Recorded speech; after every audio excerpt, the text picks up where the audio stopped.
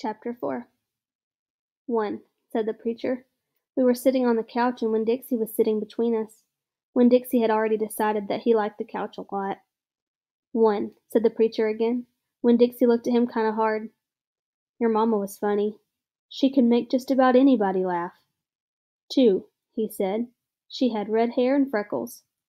Just like me, I said. Just like you, the preacher nodded. Three, she liked to plant things. She had a talent for it. She could stick a tire in the ground and grow a car. Winn-Dixie started chewing on his paw and I tapped his head to tell him to stop. Four, said the preacher. She could run fast. If you were racing her, you couldn't ever let her get a head start, because she would beat you for sure. I'm that way too, I said. Back home in Watley, I raced Liam Flutterton, and I beat him, and he said it wasn't fair because boys and girls shouldn't race each other to begin with. I told him he was just a sore loser. The preacher nodded. He was quiet for a minute. I'm ready for number five, I told him. Five, he said. She couldn't cook. She burned everything, including water. She had a hard time opening a can of beans. She couldn't make head nor tail of a piece of meat. Six. The preacher rubbed his nose and looked up at the ceiling. Winn-Dixie looked up too. Number six is that your mamma loved a story. She would sit and listen to stories all day long. She loved to be told a story, and she especially liked funny ones, stories that made her laugh. The preacher nodded his head like he was agreeing with himself.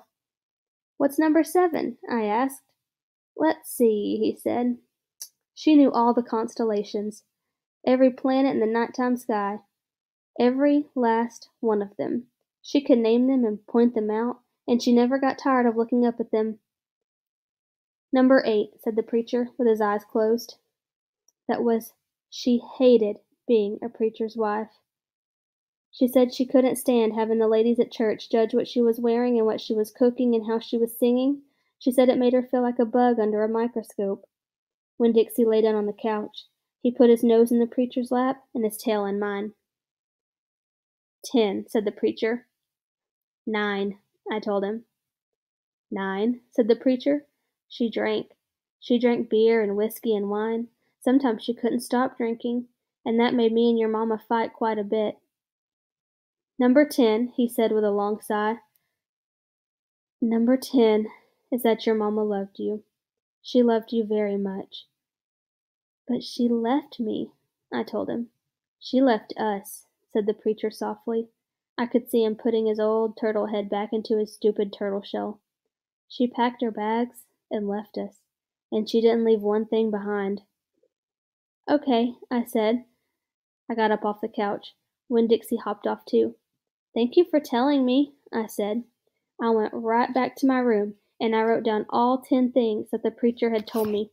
I wrote them down just the way he said them to me so that I couldn't forget them, and then I read them out loud to Winn-Dixie until I had them memorized. I wanted to know those ten things inside and out. That way, if my mamma ever came back, I could recognize her, and I would be able to grab her and hold on to her tight and not let her get away from me ever again.